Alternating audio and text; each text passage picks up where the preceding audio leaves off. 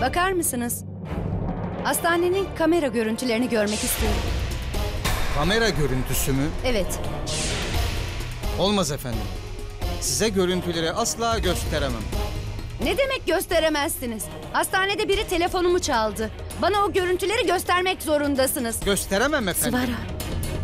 Sıvara hadi gidelim biz. Eğer annem görürse... Bir şey olmaz Ragini. Annem üçüncü katta, biz birinci. Bir şey öğrenemez. Gösterecek misiniz yoksa Doktor Banerjee'ye şikayet mi edeyim? Peki, tamam. Gelin. Görüntüleri görmek istiyorsunuz.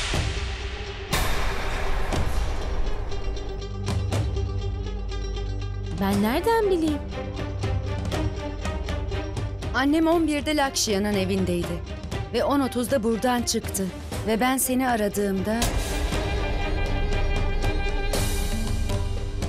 Ragini sana saat kaçta telefon ettiğime bir bakar mısın lütfen? Yani otel hattından aradığımda. 10.30 ile 12 arasındaki görüntüler. Peki.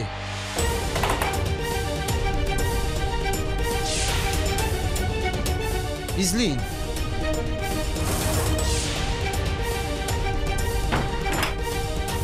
Bakıcımız bize su getiriyor.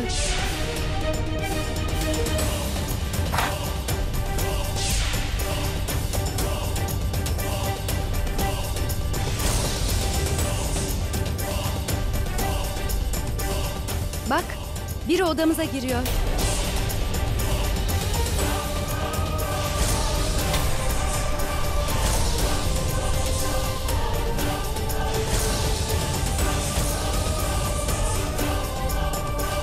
Ama efendim, telefonunuz elinizde.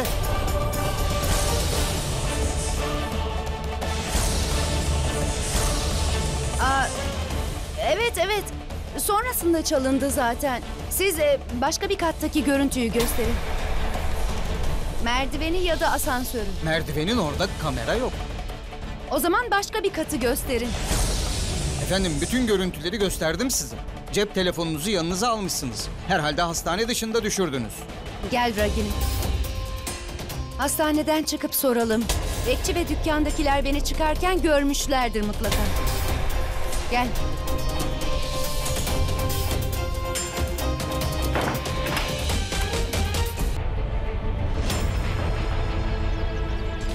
Bakar mısınız? 4-5 saat önce beni hastaneden çıkarken gördünüz mü? Yani bir yere gidiyordum da. Evet, sizi bir taksiye binerken gördüm efendim. Taksi mi? Beni nereye götüreceğini duydunuz mu peki? Yani e, yanımda biri var mıydı? Yalnız mıydım yoksa zorla mı götürülüyordum? Lütfen hatırlamaya çalışın, lütfen. Sıvara, Sıvara yeter gel. Ragini, neden beni durdurdun? Ona soruyordum. Belki hatırlayabilirdi. Tamam Sıvara da insana bu şekilde mi sorulur? İnsanlara kendinde olmadığını nasıl söylersin? Böyle sorulmaz ki. Ragini, sonuçta gerçek bu.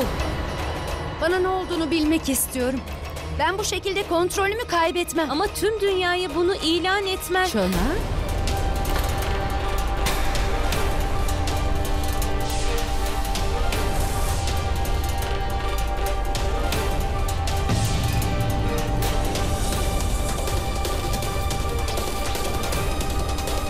Anne, anne şey... Anne. İyi ki seni gördüm anne. Ben senden... Özür... E, e, e, özür. Sıvara senden özür dileyecekti anne. Şey, baş ağrısı çektiği zaman kalkmış. Sonra anneannemi hastanede yalnız bıraktığı için kötü hissetmiş. Bu yüzden onu buraya getirdim. Evet Şona. Sana çok kızgınım. Bunu yapmamalıydın. Özür dilerim anne. Şey,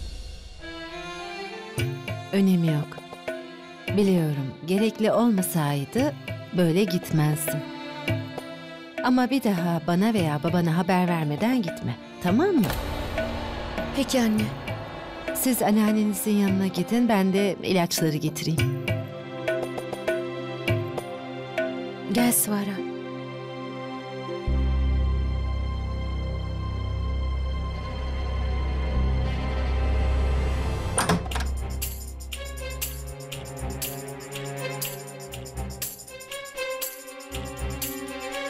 Ragini.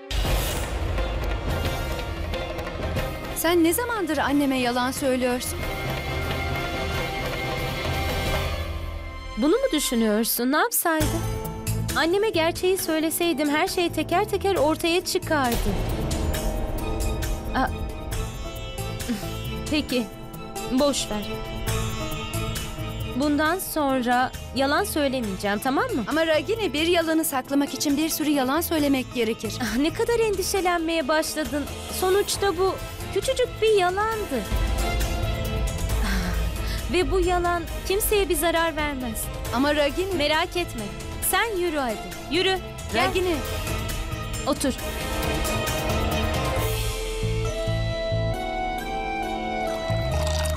İşte suyunu iç ve dinle.